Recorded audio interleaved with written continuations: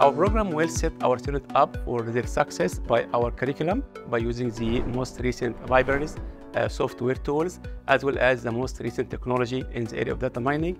In addition to that, uh, we enhance the teamwork skills, because this is what they're going to do in the future. They will be assigned a project, so with teamwork, the project will be conducted. Since our students having their masters, they're going to join an R&D department or a lab, so they must be able to conduct research, scientific research, like uh, surveying literature, like benchmarking models, and I am using my student to help me in my own research by collecting data, evaluating the models. So it is very important because it actually imitates what they will do in the future.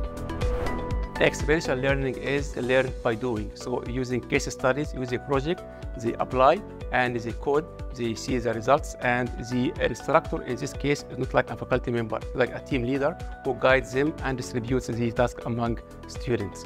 Our course enabled our students to get the skills required for any of these jobs. Data scientist, data analyst, data engineer, business analyst, or operation research data scientist as well.